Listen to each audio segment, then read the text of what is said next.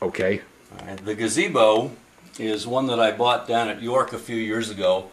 I brought it home and I, I made some of the flowers and the vines and things growing on it. And when I got it done, I thought, well, that'd be a perfect place to put a park bench with a young couple sitting in there. And I went down to English's and I grabbed a, the first bag that I found that had a, a guy and a girl in a seated position, and I saw he had his arm around her, and I thought, well, that's perfect. So I brought it home, and of course, it's in like a little clear plastic bag, and I handed it to my wife and said, look, these are going in the gazebo. And she looked at it and she said, you can't put that on the train layout. And I said, why not? And she said, well, look where he has his hand. And if you look very closely there, you'll see he has his right hand right up under her shirt. So I either point that out or not, depending on the age of the people that are visiting.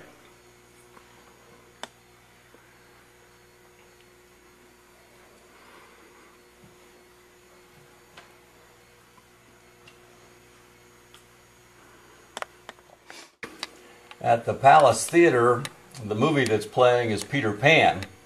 And my wife and I, uh, the story of Peter Pan has kind of been our little theme since we got together. Um, we really enjoy the line in there about when Peter takes Wendy and the boys to Neverland. The directions to Neverland are second star to the right and straight on till morning. And we've repeated that theme a lot. We have a moon and two stars on our wedding rings and uh, several different places on the layout where you can find the, the same thing. But that's, that's why Peter Pan is always playing at the theater.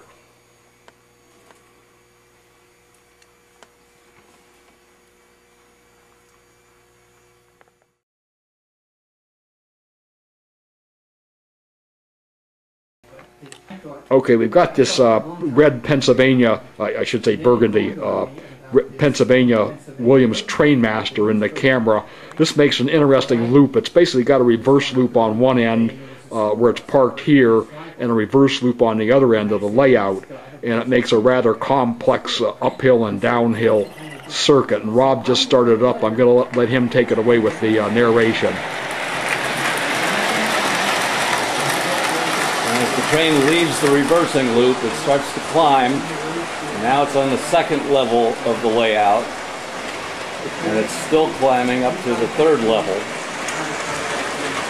And now starts back down as it goes by the carnival. Back to the second level. And over into town. And over there is a second reversing loop. If you watch, the train will turn around and it'll go back through the switch right there. And now it starts back the direction that it came, but going, going the opposite direction. So now it's climbing up again.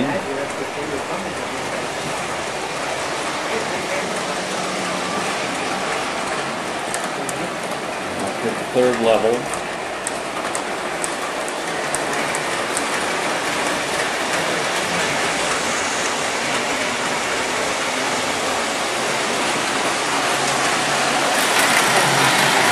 Gets back down here to where it started. So it's actually made half of its complete route. It came back to where we started, but it was going the opposite direction. Now as it goes up and around for the second time, it's going actually the opposite way on a, on a different track than it was the first time. I guess it is the same track.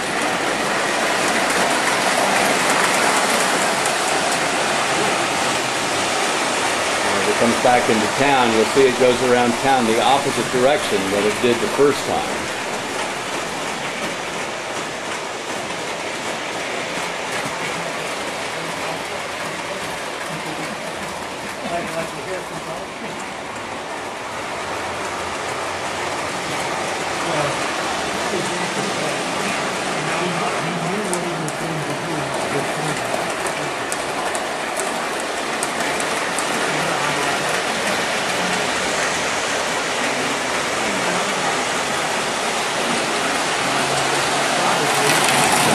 there's a switch on this here goes to loop, and in just a second it'll be back here to where it originally started.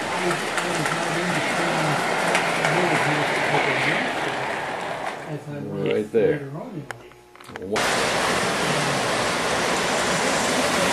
Okay, we're going to trace these F3s around. This is a different train running on the same mountain. Uh, you want to say a few words about that? If you look right now, it's actually passing over top of itself as it comes around the, as it goes up the mountain.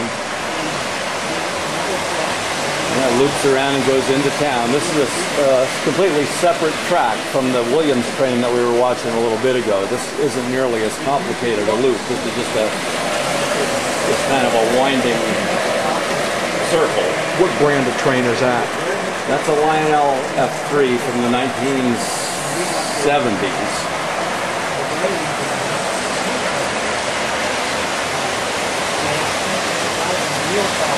You say not as complicated. It's enough to confuse the cameraman here trying to keep it in the camera, I can assure you. Uh, can you start up the train master and leave this one running and we'll get both of them running on the mountain?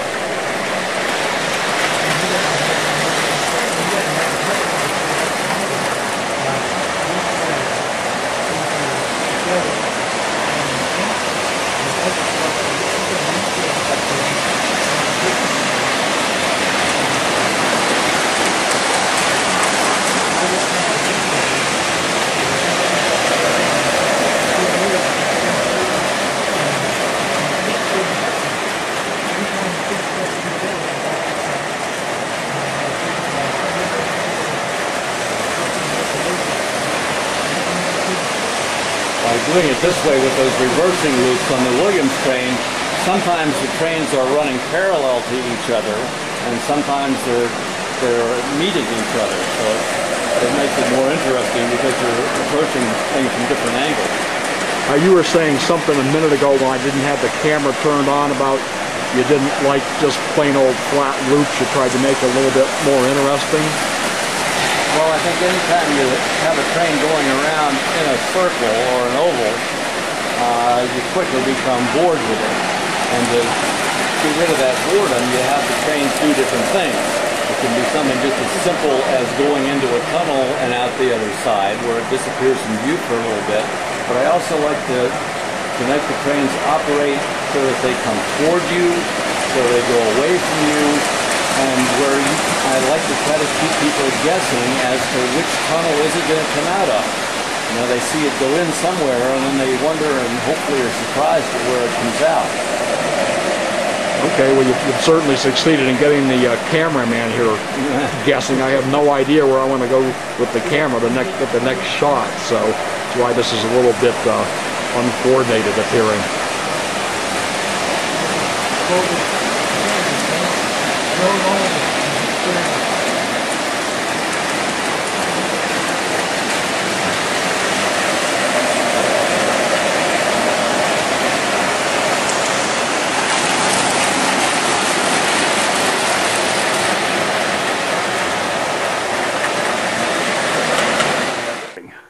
Okay, we have several main areas on the layout. One of them is right here. This is supposed to represent the Millville Carnival.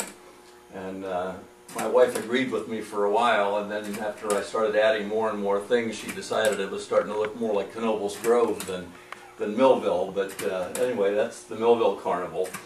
And then